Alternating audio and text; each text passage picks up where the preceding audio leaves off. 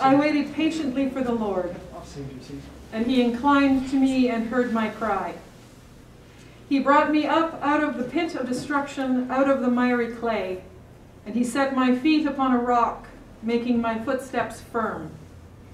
And he put a new song in my mouth, a song of praise for our God. Many will see and fear and will trust in the Lord. My name is Karen Sheila. I'm the pastor at the Harrow Mennonite Church, and I join you today as we gather as a caring community to pay tribute to the life and memory of Ann Dyck. A memorial, or funeral, has a threefold purpose. The first of which is to grieve, to grieve the loss of a loved one. Ann will be remembered as a mother, grandmother, great and double great grandmother neighbor, and friend. Our relationship with her has been important to us. We have loved her and been loved by her. That relationship is now severed and loss is painful. And so we come here to grieve that loss. The second purpose is to lovingly pay our last respects. It is only right that we take the time to bid farewell to the earthly remains of Ann. By our presence here, we show our respect for her, admitting that her place in life alongside us was significant and will be missed.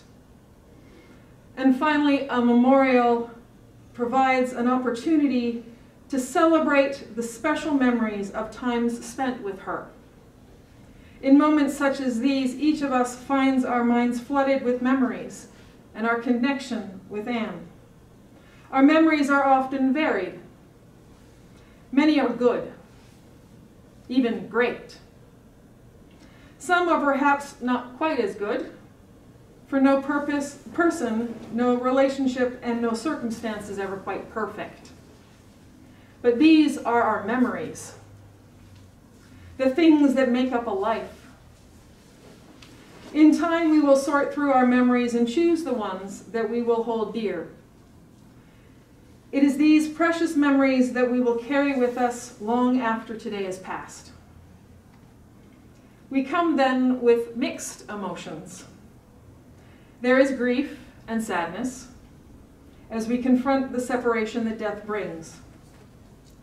And I understand that in the last year that, that uh, Ann was quite, quite ill. She was starting to get better, return to her old self and look like herself again. But her recovery was cut short. There is grief in her loss. But perhaps there is also some relief in knowing that she is no longer suffering. And there is joy in acknowledging that her life mattered, and in holding to the best of our memories, in treasuring those memories and sharing them with one another. At times like this, we find ourselves in need of strength beyond our own. We find this strength in coming together and in the arms of a loving and gracious God who is present here with us. And so let us turn to God. Lord, in your word, you describe yourself as the resurrection and life. You say that those who believe in you, though they die physically, will live eternally. They will never really die. Thus, though we stand here in the presence of physical death, we still have within us a living hope, a hope based on who you are. Almighty God, you demonstrate your power over death when you raised up our Lord Jesus Christ from the grave. In these moments of memorial and mourning, we pray for your strengthening presence and a continued assurance of your power over death, the essence of our hope. Enable us, we pray, to worship you in openness and love, and through your word to find patience and comfort for our present circumstance. Through your power and strengthening presence, Holy Spirit, grant that our minds and hearts and faith may be raised above the shadows of mortality and brought into the light of your compassionate countenance and the security of your warm presence. We pray this in the name of him who died and rose again and ever lives with us, Jesus Christ our Lord. Amen. I'd like to share a couple of, of scriptures from Romans. In all things, we overwhelmingly conquer through him who loved us. For I am convinced that neither death nor life, nor angels nor principalities, nor things present, nor things to come, nor power, nor height, nor depth, nor any other created thing shall be able to separate us from the love of God, which is in Christ Jesus our Lord. Paul also says, For because of our faith, he has brought us into this place of highest privilege where we now stand. And we confidently and joyfully look forward to actually becoming all that God has in mind for us to be. We can rejoice too when we run into problems and trials, for we know that they are good for us. They help us to learn to be patient. And patience develops strength of character in us and helps us to trust God more each time we use it, until finally our hope and faith are strong and steady. Then, when that happens, we are to hold our head high no matter what happens, and know that all is well, for we know how dearly God loved us, and we feel this warm love everywhere within us, because God has given us the Holy Spirit to fill our hearts with His love. One of my favorite things to say about the Christian funeral or memorial is that it is an act of defiance. What we do here seems to clash with what we are experiencing. In the presence of death, at a time when we are aware of our own mortality, we deliberately turn our attention to life, to immortality. We talk about eternity. We talk about a person's life, even though it seems for us in so many ways to be gone. Despite our experience of loss, we do not focus on what we have lost, but rather we spend most of our time remembering what has been gained in knowing the person we grieve. And when we do talk about pain, we couple it with hope and with confidence that death is not the final end but a new beginning, a confidence in the value of the life that has gone. For that life never really ends with God. And so today we celebrate Ann's life. We mourn her passing, but more we acknowledge all the ways that her life mattered. What we will remember. How her life will continue in us into the future and with God for eternity. Our confidence to do this comes from the promises of Jesus Christ. Let not your heart be troubled. Believe in God, believe also in me. In my Father's house are many dwelling places. If it were not so, I would have told you. For I go to prepare a place for you. And if I go and prepare a place for you, I will come again and receive you to myself, that where I am, there you may also be and you know the way where I am go the way where I am going. But Thomas said to him, Lord, we do not know where you are going. How do we know the way? And Jesus said to him, I am the way, the truth, and the life. No one comes to the Father but through me. These words were spoken to the disciples shortly before Jesus died. They were spoken to give comfort he promised to come for them. He promised that they would go with him to where God is. At another time he said, I am the resurrection and the life. He who believes in me shall live even if he dies, and everyone who lives and believes in me shall never die. As outrageous as these promises can sound, we have the proof of them in Jesus' own death and resurrection. He appeared to his disciples in bodily form. He was not a ghost. They could see him, touch him, they ate and drank with him. It is our confidence that Jesus overcame death that turns our attention back to life. We no longer need to fear death or be slaves to our sorrow at the loss of a loved one. Our separation is temporary. We have hope and confidence in life beyond death, a life transformed, a life with Jesus, a life with God who cannot die.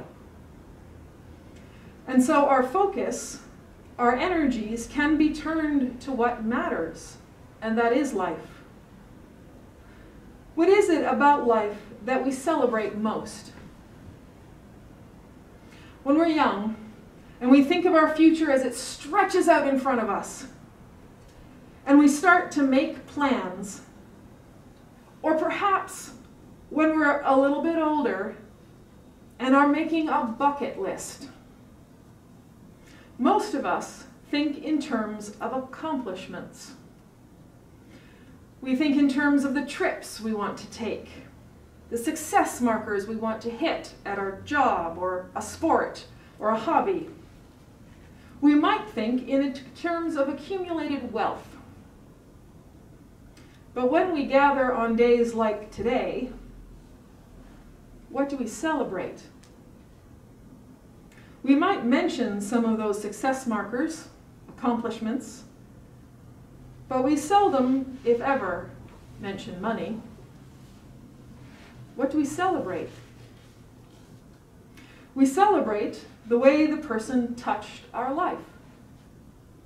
Those accomplishments might get mentioned, but less because they're accomplishments and more because they help us describe something about the person that we appreciated. Or perhaps because there's a great inside joke tied to the experience. The memory stands out to us because it was them, not because of what they did. We celebrate the way a person loved and was loved in return. That's what counts when we get to days like today. Now, it's worth noting that I'm not talking about love as an emotion. That soft, fuzzy feeling.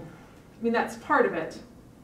But the real love is as much an act of will, a choice, an action.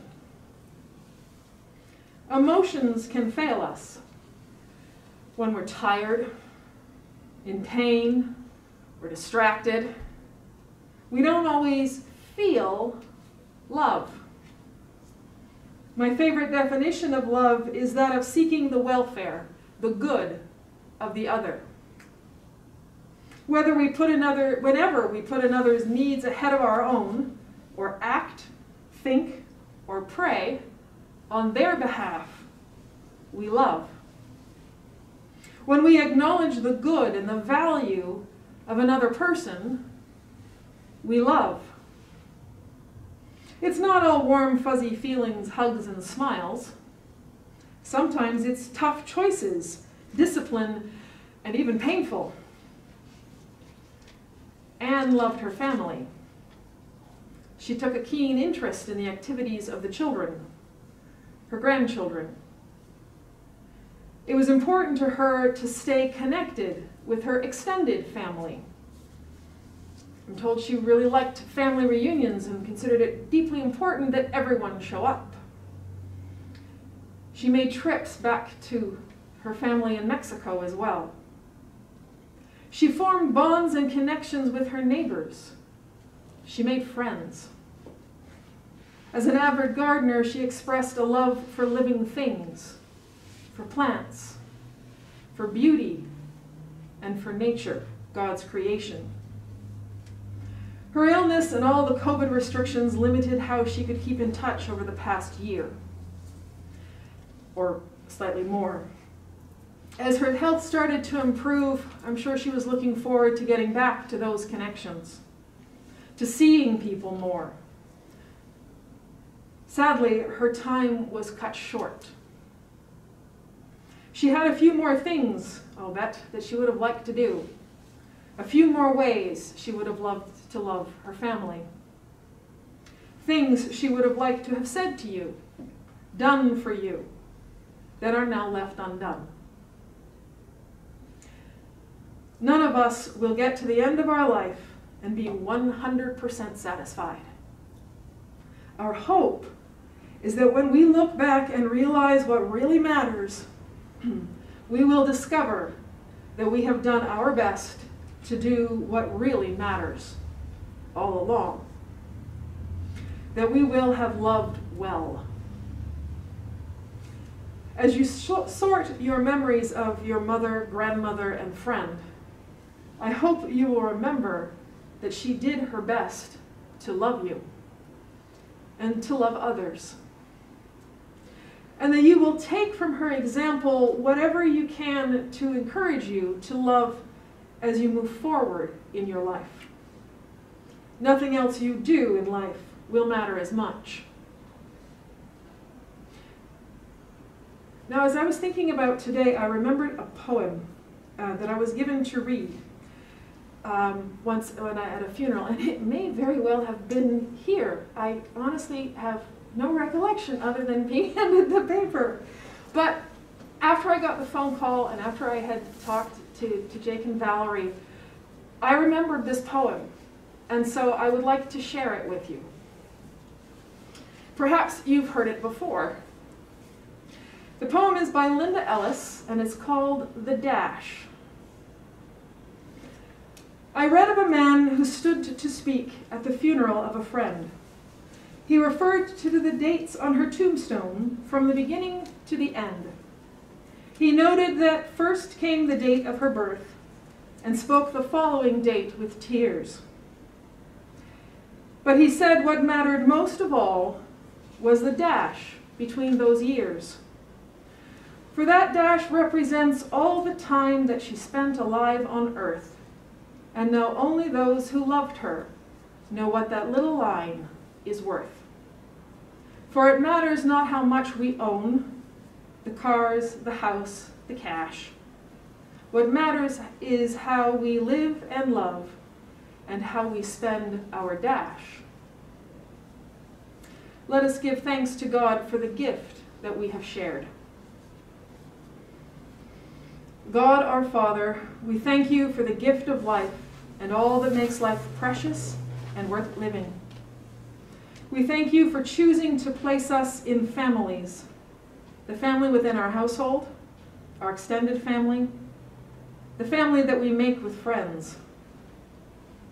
Draw us closer together, especially now in our time of need. Thank you for the love of family.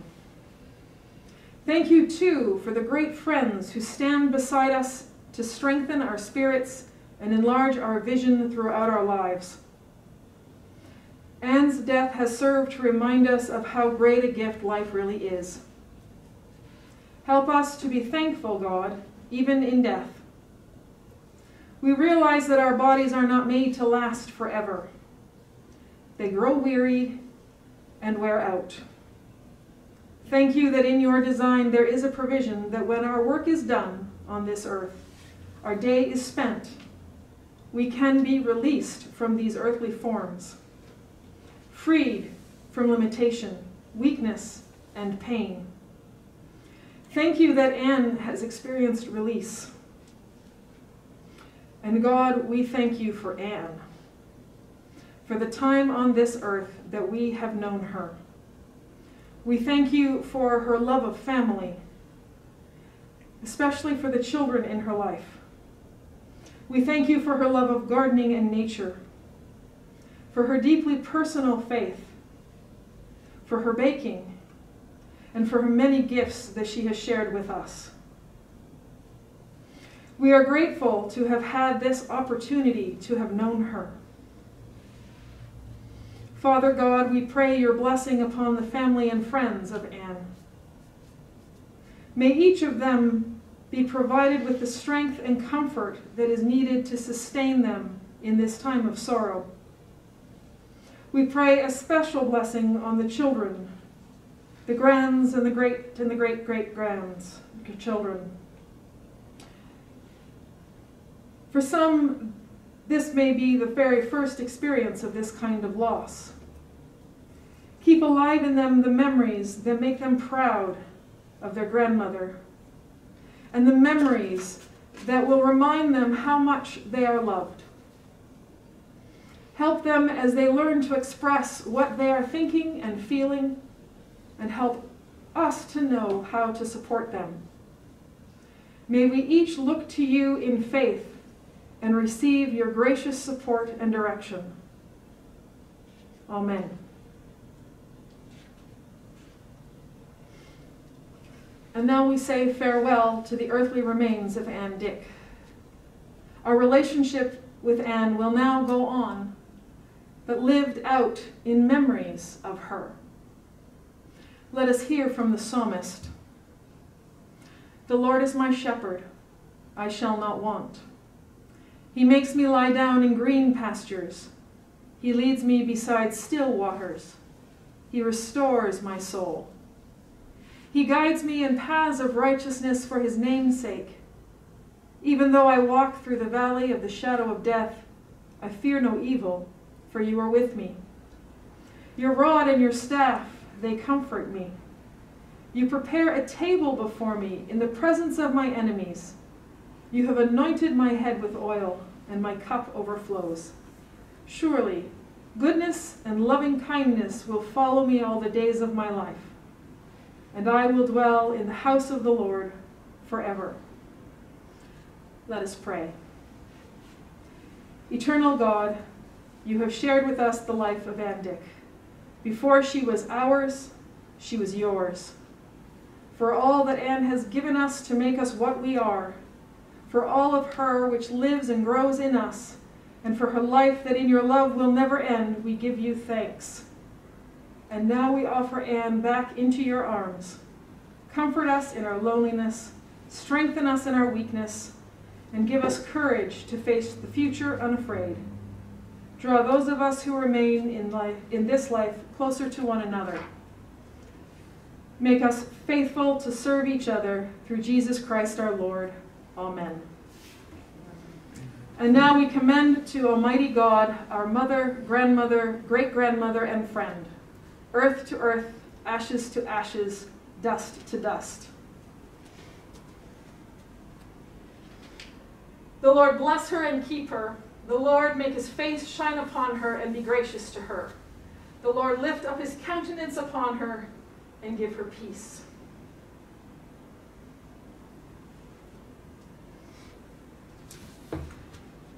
May the memory of Ann, who has loved, who we have loved, linger long and bring us comfort and consolation. May her death draw each of us into closer partnership with God and, and that the Lord might minister to us in our grief. And may the God of peace, who raised Jesus Christ from the dead, grant us the knowledge and assurance of eternal life. Amen.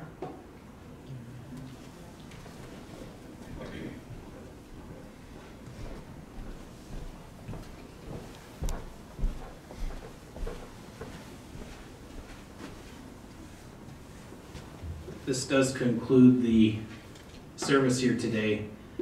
I know with all these restrictions, it's difficult for all of us to get together and truly celebrate uh, uh, Ann's life. And just with the use of technology, I know some of your family and friends will be able to watch this in a little bit.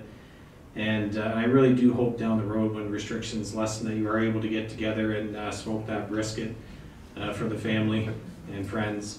And, uh, and again, thank you. It was an honor looking after your mom and your dad. And uh, I got to admit, your mom, um, uh, she had a great smile, and she was she was an honor to deal with as well. She seemed to be very organized. Um, you, you're discovering all the stuff she organized with us and everywhere else. Uh, she, she really was an organized person, but uh, again, it was a true honor looking after your mom and your dad.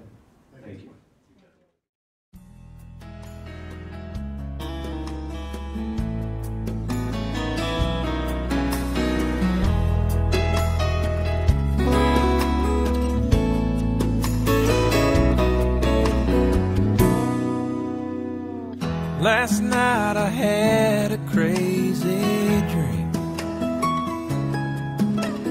Wish was granted just for me, it could be for anything. I didn't ask for money or a mansion in Malibu. I simply wished for one more day with you. One more day,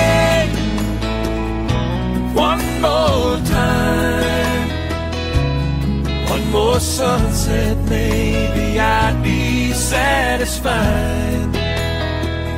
But then again, I know what it would do. Leave me wishing still one more day with you.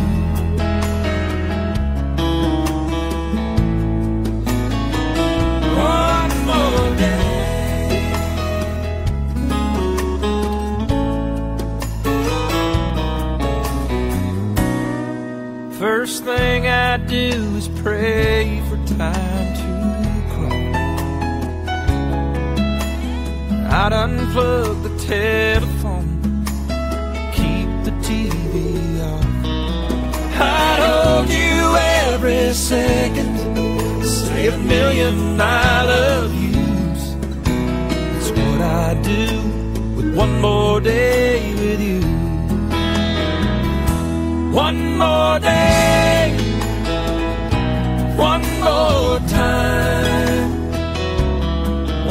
sunset, maybe I'd be satisfied.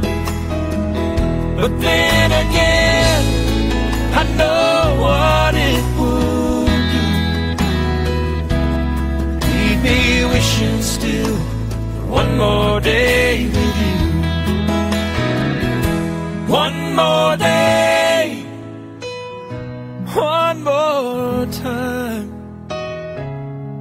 more sunset, maybe I'd be satisfied. But then again,